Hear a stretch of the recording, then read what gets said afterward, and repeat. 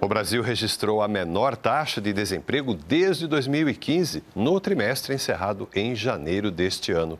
Dados divulgados pelo IBGE indicam que a taxa de desocupação entre novembro de 2023 e janeiro de 2024 ficou em 7,6%, a mesma do trimestre imediatamente anterior. Isso significa que mais de 100 milhões de pessoas têm algum tipo de ocupação no país seja trabalho com carteira assinada, autônomos e informais. Já a renda domiciliar per capita subiu 16,4% no ano passado. De acordo com o IBGE, o rendimento domiciliar médio para o Brasil foi de R$ 1.893, variando de 945 reais no Maranhão a R$ 3.357 no Distrito Federal.